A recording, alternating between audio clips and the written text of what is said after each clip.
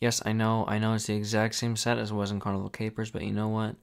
If Hit Entertainment can make the exact same episode for four seasons, then I can make some identical looking sets for two episodes.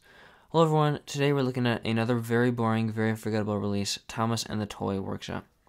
So this was put out onto DVD um, a little over a month after Carnival Capers on September 18th of 2007. And it was also put out in a couple of bonus packs, one of which being this one with Thomas and the Really Brave Engines, and there was also one recently put out called, or known as Thomas's Holiday Collection, which we will briefly touch on later because I have some rants about that.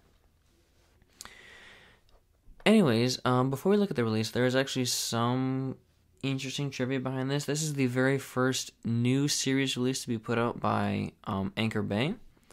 Um, 20th Century Fox kind of lost the rights after Carnival Capers, even though they put out Engines and Escapades, which is kind of weird. But I assume Entertainment was like, you know what?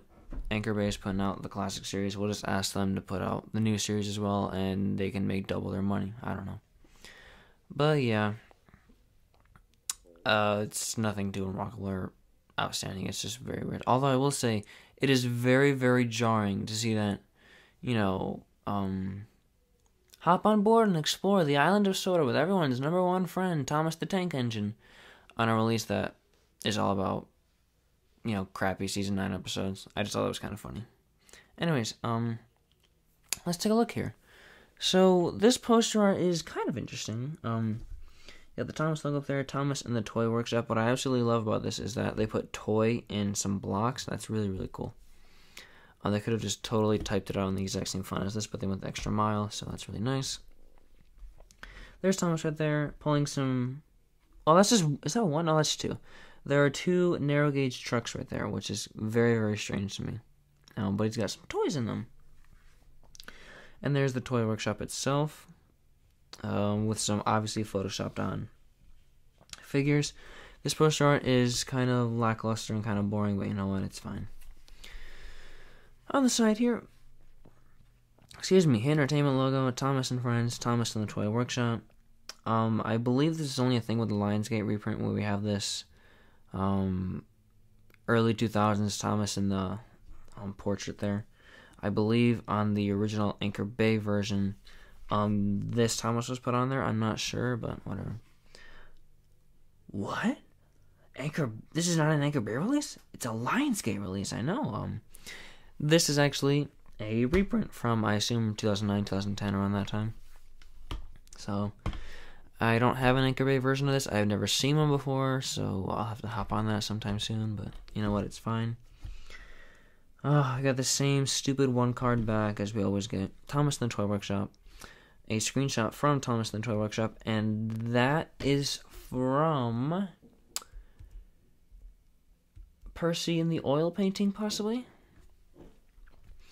Um, our description says All aboard, Thomas, Percy, and their friends learn about the spirit of Sodor and the secret of the cliffs. Join them as they prepare for the grand opening of the toy workshop and find out what lies at the end of the rainbow. Hop on board for these non stop adventures today. Cool, and then our little DVD features thing consists of six fun filled episodes, two sing along songs, DVD game Paint My Color, and the character gallery. Right down there is a um, link to the website. And on the topic of stories, I will list the stories we have um, on this release. We have Thomas and the Statue, Henry and the Elephant, Bold and Brave, Thomas and the Toy Workshop, Percy and the Oil Painting, and Thomas and the Rainbow. These titles are so repetitive, so unoriginal. Only one of them, actually, no, they all say and, but only one of them does not say and the. You know, it's Thomas and the Percy and the Henry and the. It's just so boring. Ugh. Here is the disc. It's okay. See, it's got the Bay logo on there, and then it's in this cheap kind of plastic, crappy case. You know, it's pretty lame. And like I showed earlier, we do have this double feature to look at. I believe we looked at this when we looked at Thomas and the Really Brave Engines, um, but that was a long time ago, so my bad if I didn't. But yep, this is the side we want to look at. It's virtually the same as that, so you don't have to look at that too much. Um, yep. it is featured on the top there, and then there is a screenshot of Thomas from that artwork. And then here is the back. It's exactly the same. And then I will briefly open it up, try not to get my reflection in, and turn this around. There you go. I believe that has never been taken out of the little tray or whatever. I've had that for almost two years, I want to say. I got it in 2019, same day as Big World Big Adventures came out on DVD. So that's been in my collection for almost three years, actually. Wow, like three and a, or two and a half years. That's crazy. But yeah, I'll tell the brief story of why I got that. The only reason, or the only reason why I wanted that was to have a copy of Thomas and the Really Brave Engines, because I did not own a DVD copy at that time. But then a couple of months later, I got just a standard copy. I think it was like a year later, actually. So there you go. Now, this release is, again, very boring. I actually rewatched half of it um, before I started this because I wanted to freshen up my memory on the hit era. And holy crap, it was so boring. Um, we'll go through the episodes briefly. Um, Thomas and the Statue is actually an anomaly in the Thomas and Friends like hit entertainment era. It's not a bad story. I mean, the characters are actually like characters, and they actually like have conflict with each other in this one, unlike most of the hit era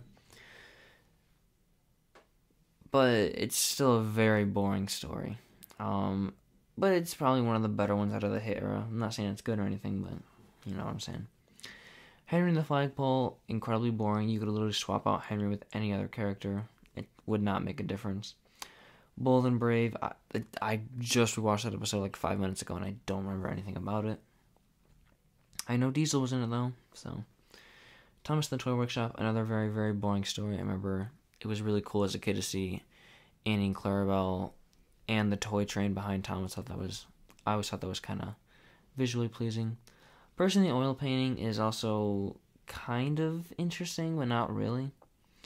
And then Thomas and the Rainbow is also very, very boring, although that crash with the telegraph pole was mildly interesting. there are also two songs in here, those being Be Brave and The Engine Roll Call. Uh, fitting that Be Brave comes after the episode Bold and Brave. So, yep, I have also taken the liberty of reordering these stories to make them um, make a little more co- coherent sense. All these are from season 9, by the way, so. Um, Thomas and the Toy Workshop obviously has to be first, even though that's not the first episode of season 9. The first one is actually Percy and the Oil Painting, which comes next. Then we have Thomas and the Rainbow, Thomas and the Statue, Henry and the Flagpole, and Bold and Brave. So, before end the episode, I would like to I would like to talk about a release. I don't know, I sounded Indian there. My apologies. Um, in 2017, right before Thomas on Home Media was basically canned, there was a release put out known as Thomas's Holiday Collection. It featured six discs, I believe. I don't have it. Um, I wish I did, but um, it featured a bunch of Christmas slash winter themed stories or releases, and this was included. The only kind of wintry Christmas themed episode on here is Thomas and the Toy Workshop and kind of um, Thomas and the Statue. But they're not like Christmas or holiday themed, they're more snow and winter themed. So, very stupid. You could have put like Santa's little engine or the Christmas engines on there, but nope, you wanted to give the kids a crappy hit era release. So another thing I would like to touch on, um, this is mainly about the episodes, not the release. I am so sick of like 30 seconds into the episode, every episode, every single story has this problem.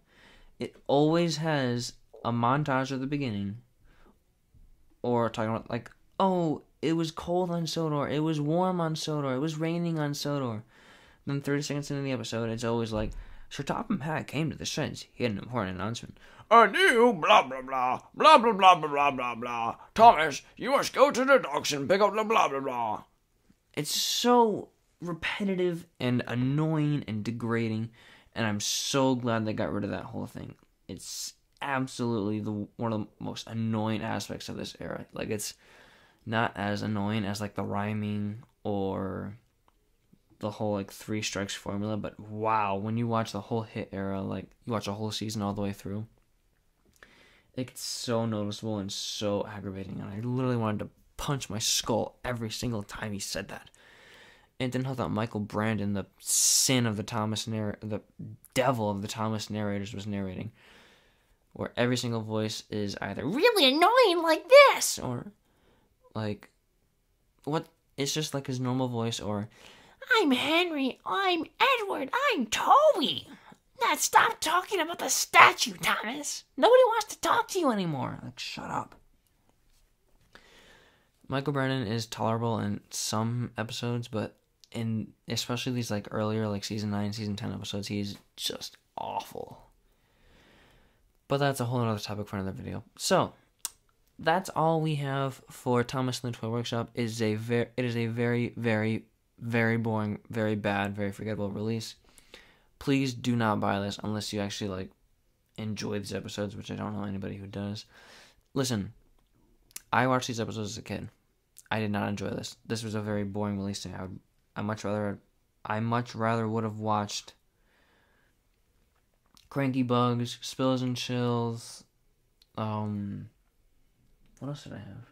Anything from the classic series, basically. yeah, th- these hit era episodes just don't do it for me. So that's all I have for you guys today. Thanks again for watching. Next week we're looking at a very, very, very festive release. You know what I'm saying? We're looking at the ultimate Christmas release. Ultimate Christmas. Fitting. So I will see you then. Thanks for watching, and I'll see you next time. Bye bye.